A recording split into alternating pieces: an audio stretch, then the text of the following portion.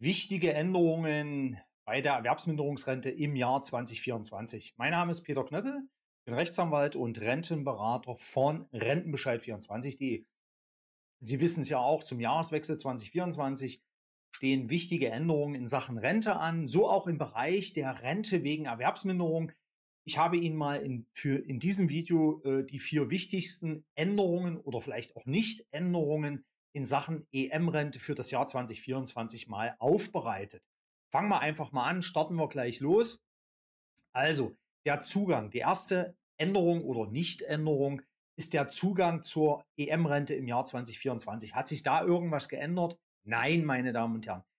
Die gesetzlichen Vorschriften des Paragraphen 43 SGB 6, was den Zugang der äh, Rente, die Anspruchsvoraussetzung für eine Rente wegen Erwerbsminderung äh, anbetrifft, haben sich im Grundsatz nicht geändert. Ich kann Anspruch auf eine EM-Rente haben, entweder volle EM-Rente oder teilweise EM-Rente, wenn ich aus wegen Krankheit oder Behinderung nicht mehr in der Lage bin, auf dem allgemeinen Arbeitsmarkt bei teilweise Erwerbsminderung drei bis unter sechs Stunden zu arbeiten und bei voller Erwerbsminderung unter drei Stunden oder mehr als drei Stunden zu arbeiten. Wenn diese medizinischen Voraussetzungen vorliegen, dann habe ich zumindest schon die erste Hürde genommen. Die zweite Hürde, die ich immer noch nehmen muss, sind die versicherungsrechtlichen Voraussetzungen. Bei einer Rente wegen Erwerbsminderung brauche ich noch fünf Jahre Wartezeit. Das sind fünf Jahre, 60 Kalendermonate. Beitragszeiten, die müssen nicht ähm, äh, irgendwie hintereinander genommen sein, sondern die können auch irgendwo in verschiedenen Teilbereichen im Versicherungskonto stehen. Das ist überhaupt gar kein Problem. Aber die zweite äh, versicherungsrechtliche Voraussetzung, die hat es in sich, die muss man immer erfüllen. Ich brauche in einem Zeitraum von fünf Jahren vor dem Eintritt des Leistungsfalls, also vor Eintritt der Erwerbsminderung, mindestens 36 Kalendermonate Pflichtbeitragszeiten. Also nicht irgendwie freiwillige Beitragszeiten, sondern Pflichtbeitragszeiten, entweder aus einer Beschäftigung oder aber Zeiten des Bezugs von Arbeitslosengeld 1 oder Krankengeld äh, das spielt keine Rolle. Das ist so, sind so die Voraussetzungen und die haben sich im Kern nicht geändert. Wir reden mal hier heute in diesem Video nicht von der vorzeitigen Wartezeiterfüllung. Das ist ein anderes Thema. Das kann ich dann gerne nochmal in einem neuen Video im Jahr 2024 für Sie nochmal aufbereiten. Aber der Zugang hat sich also nicht geändert. Das war so die erste ähm, Komponente in diesem Video. Zweitens, wir haben eine Änderung in der Zurechnungszeit, meine Damen und Herren.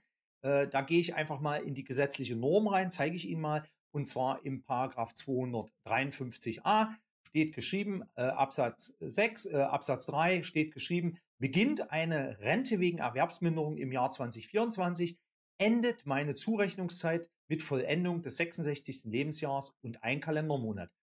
Wenn die Rente im Jahr 2023 begonnen hat, waren es noch 66 Jahre. Das heißt für Sie, wer eine Rente eine EM-Rente im Jahr 2024 erhält, bekommt dann eine Zurechnungszeit bis zum 66. Lebensjahr und einen Kalendermonat gutgeschrieben. Es wird also so getan, als ob sie nach Beginn der Erwerbsminderung weiter im Durchschnitt gearbeitet haben und bekommen dafür zusätzlich Entgeltpunkte auf ihr Rentenkonto gutgeschrieben. Das erhöht zum Teil die EM-Rente deutlich. Seit 2019 haben wir ja die Neuregelung der Erweiterung der Zurechnungszeit, was ja generell schon zu einer deutlichen Erhöhung der EM-Rente im Schnitt geführt hat.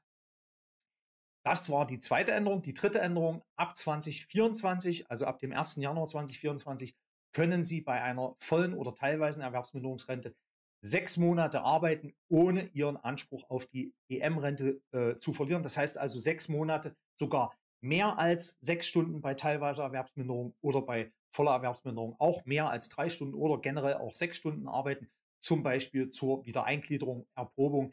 Die deutsche Rentenversicherung darf für diesen Zeitraum oder äh, da nicht annehmen, dass sie hier äh, arbeiten und oder länger arbeiten als die entsprechenden Zeitvorgaben und dann ihnen die Rente wegkürzen. Das ist nicht mehr vorgesehen und ist eine echte Erleichterung für die, die sich mal erproben wollen, mal ausprobieren wollen. Kann ich ähm, nach der oder kann ich während der EM-Rente noch arbeiten gehen? Wie sieht's aus? Ähm, bin ich sogar leistungsfähig und kann dann sogar einen neuen Job aufnehmen und bin auf die EM-Rente gegebenenfalls nicht angewiesen.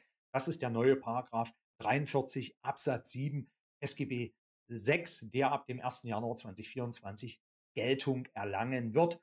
Ja, meine Damen und Herren, last but not least die Hinzuverdienstgrenzen. bei einer EM-Rente ändern sich. Das ist auch nichts Neues. Das heißt also, wir haben ja eine neue Bezugsgröße im Jahr 2024. Damit ändern sich auch die äh, Hinzuverdienstgrenzen bei einer Rente wegen voller Erwerbsminderung.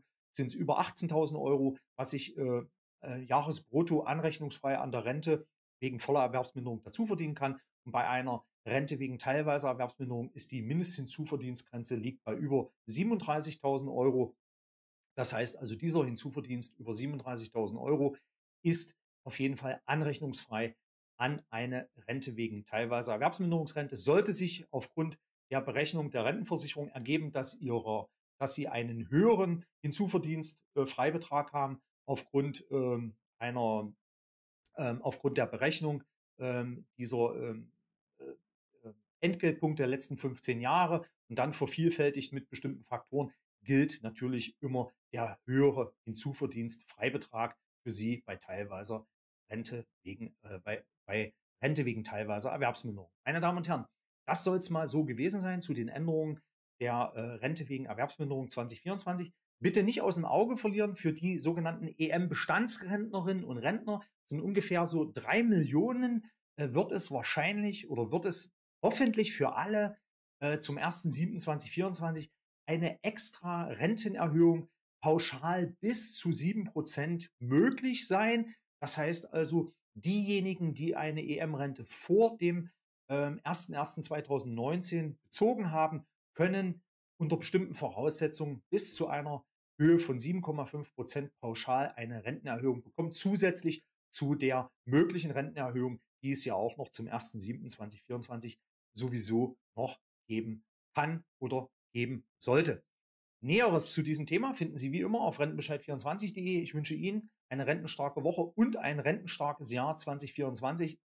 Ihr Rechtsanwalt und Rentenberater Peter Knöppel.